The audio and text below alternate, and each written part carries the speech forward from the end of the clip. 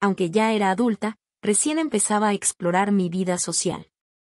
No te imaginas todo lo que pasé para sentirme mujer, y sabes a lo que me refiero. Pero antes de continuar, suscríbete, que es gratis y nos ayudas mucho. Tenía ese deseo que todas mis amigas ya habían satisfecho. Sí, era mi primera vez, pero tenía unas ganas inmensas de vivir la experiencia, esas ganas que te llevan a hacer cosas traviesas. ¿Qué hacer cuando estás en tu cuarto y no tienes novio? Bueno, si eres como yo, eliges la opción más atrevida. ¿Recuerdas esa sensación de la secundaria, llena de hormonas y deseos incontrolables? Así me sentía yo. Todas mis amigas ya lo habían hecho y yo me sentía como la última virgen del planeta. No es que estuviera desesperada, pero tenía mucha curiosidad.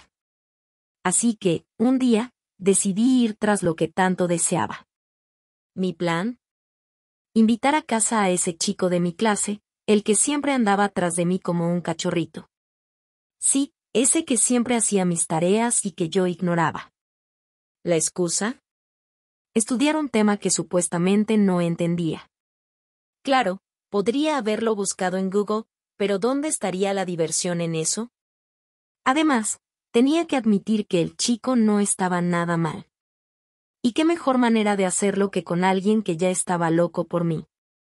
Lo llamé, le puse mi mejor sonrisa de chica inocente y le pregunté si quería venir a mi casa a estudiar. Por supuesto, el pobre cayó en mi trampa de inmediato. No es que fuera una mala persona, pero disfrutaba un poco jugar con sus sentimientos. Estábamos en mi habitación, él tratando de explicarme algo de matemáticas y yo, bueno, yo tratando de disimular mis verdaderas intenciones. La verdad es que el tema no me importaba en absoluto. Solo podía pensar en acercarme a él y en cuanto deseaba estar más cerca. Pasamos un buen rato estudiando, pero en realidad hablábamos más de tonterías, coqueteábamos y nos mirábamos con una intensidad mayor a lo habitual. Recuerdo que en un momento dado, mientras él intentaba explicarme por enésima vez un tema, le pregunté directamente si le gustaba. No fue la forma más sutil, pero, ¿a quién le importaba la sutileza en ese instante? Su respuesta fue un tanto tímida. Balbuceó algo sobre considerarme una gran amiga y no querer arruinar nuestra amistad. ¿En serio? ¿Amigos? ¿Qué clase de amigos se quedan solos hasta tarde en la noche, hablando de todo menos de matemáticas? Decidí no presionarlo, pero tampoco me rendí. Empecé a hacer chistes con doble sentido, esos que insinúan más de lo que dicen. Él se rió nerviosamente, sin saber bien cómo manejar la situación. Sin embargo, pude verlo en sus ojos. Él quería lo mismo que yo, aunque era un poco tímido. Entonces, sin previo aviso, me acerqué y le di un beso. No fue un beso apasionado, solo un beso en la mejilla para agradecerle por ayudarme a estudiar. Era una excusa para ver su reacción.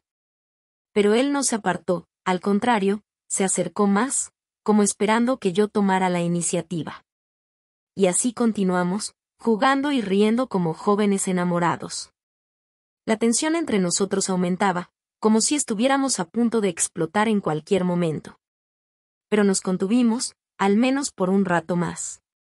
Después de un momento, dejamos de estudiar y decidimos tomar un descanso, aunque en realidad era solo una excusa para que él no se fuera y yo pudiera quedarme con él. Fue entonces cuando comenzamos a coquetear. Las risas cómplices y los gestos juguetones se hicieron presentes, anticipando lo que podría suceder. Nuestra conversación tomó un tono diferente. Cada palabra y cada mirada parecían insinuar nuestros deseos mutuos. Estaba decidida a dar un paso más y dejar que la atracción entre nosotros se manifestara de forma más evidente. Sin embargo, justo cuando estaba lista para actuar, escuché el sonido de la puerta de la casa abriéndose. Mi frustración fue enorme al darme cuenta de que era mi madre quien había llegado. De inmediato, mi plan se vino abajo.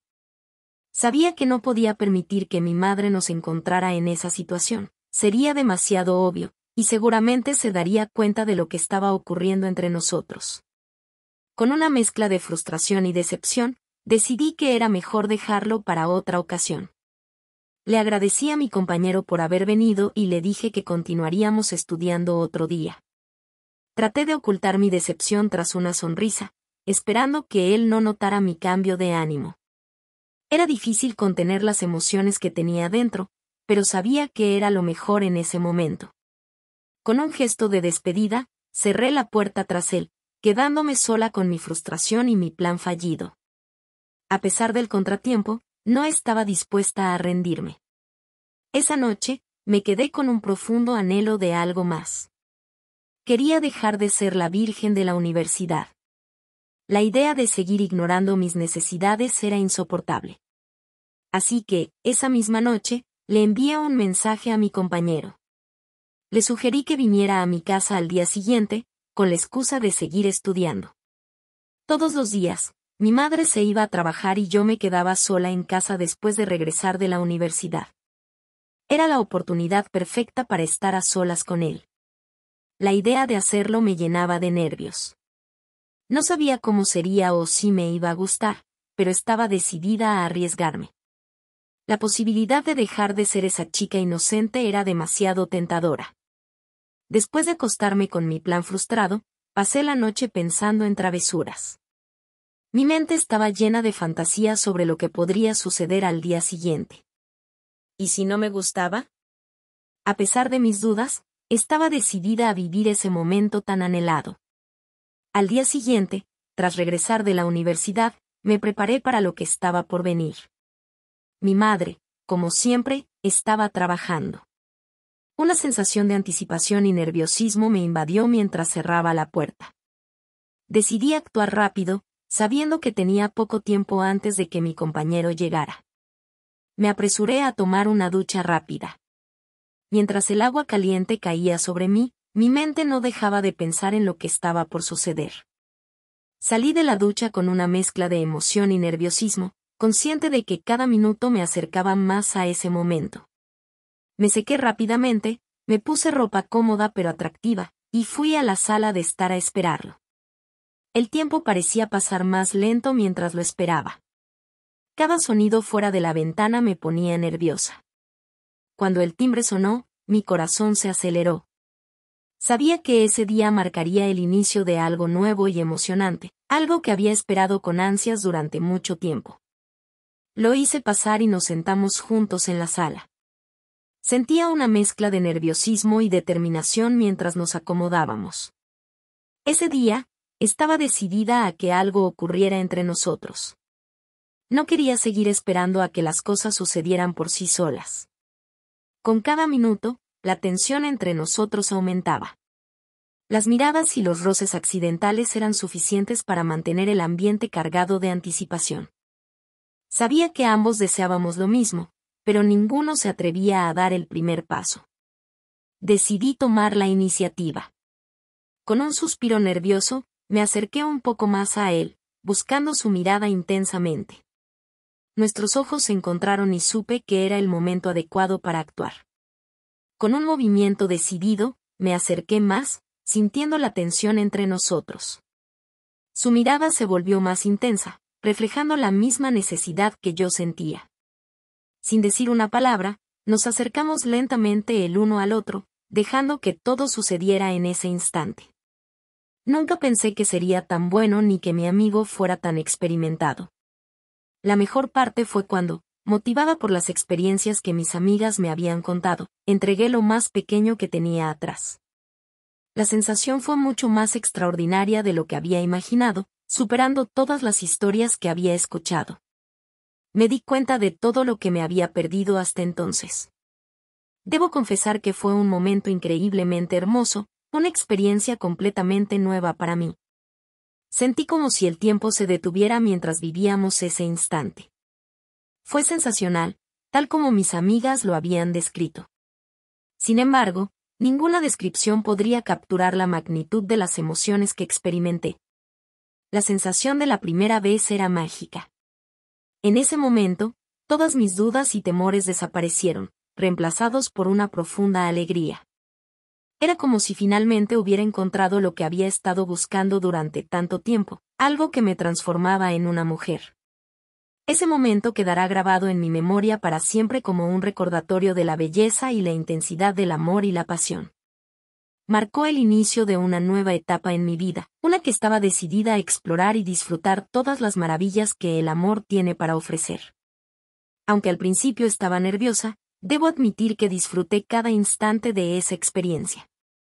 Sentir su presencia, su cercanía, su aliento, todo eso me llenó de una sensación de felicidad y plenitud que nunca había experimentado antes. Todas mis preocupaciones y ansiedades desaparecieron. Me sentí libre, entregada completamente a la experiencia. Fue una vivencia grandiosa, una que siempre recordaré con cariño.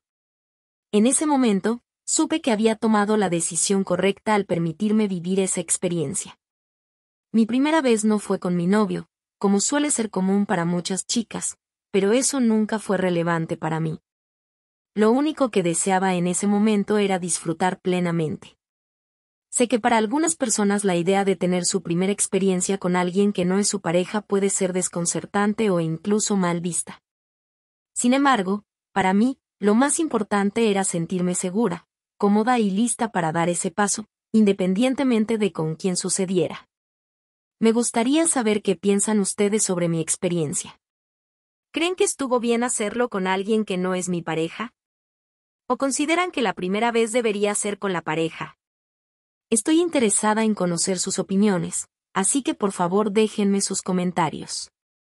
Ese momento quedará grabado en mi memoria para siempre como un recordatorio de la belleza y la intensidad del amor y la pasión marcó el inicio de una nueva etapa en mi vida, una que estaba decidida a explorar y disfrutar todas las maravillas que el amor tiene para ofrecer. Aunque al principio estaba nerviosa, debo admitir que disfruté cada instante de esa experiencia. Sentir su presencia, su cercanía, su aliento, todo eso me llenó de una sensación de felicidad y plenitud que nunca había experimentado antes. Todas mis preocupaciones y ansiedades desaparecieron me sentí libre, entregada completamente a la experiencia. Fue una vivencia grandiosa, una que siempre recordaré con cariño. En ese momento, supe que había tomado la decisión correcta al permitirme vivir esa experiencia. Mi primera vez no fue con mi novio, como suele ser común para muchas chicas, pero eso nunca fue relevante para mí. Lo único que deseaba en ese momento era disfrutar plenamente. Sé que para algunas personas la idea de tener su primera experiencia con alguien que no es su pareja puede ser desconcertante o incluso mal vista. Sin embargo, para mí, lo más importante era sentirme segura, cómoda y lista para dar ese paso, independientemente de con quién sucediera. Me gustaría saber qué piensan ustedes sobre mi experiencia. ¿Creen que estuvo bien hacerlo con alguien que no es mi pareja? ¿O consideran que la primera vez debería ser con la pareja? Estoy interesada en conocer sus opiniones, así que por favor déjenme sus comentarios. Si te gusta este contenido suscribirte que es gratis y nos ayudas bastante.